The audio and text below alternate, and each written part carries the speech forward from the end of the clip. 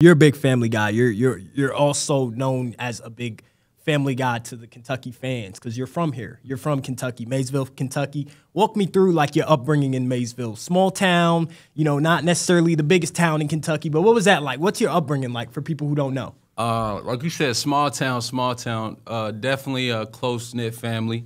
Uh, mom and dad, uh, huge examples for me, great examples for Yeah. me. Uh, two little sisters, uh, an older brother that moved in when, when, with me when I was younger. You know, he's my cousin, but I call him my older brother.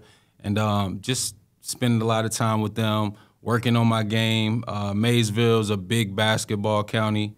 Um, Chris Lofton came from there to play at Tennessee and some other guys that people might not know or might know. Uh, you ne- you never know, honestly. But uh, yeah, no, just uh, great place for basketball. Great place to learn the game, develop my my skills, and um, also you know uh, grow a lot of relationships that lasted throughout the years. No, for sure. Now I, you're a, a guy and growing up in Maysville, big time Kentucky fan growing up. I mean, you know, when you're in Kentucky, you're either a Louisville fan or a Kentucky fan. You were on the Kentucky side of things.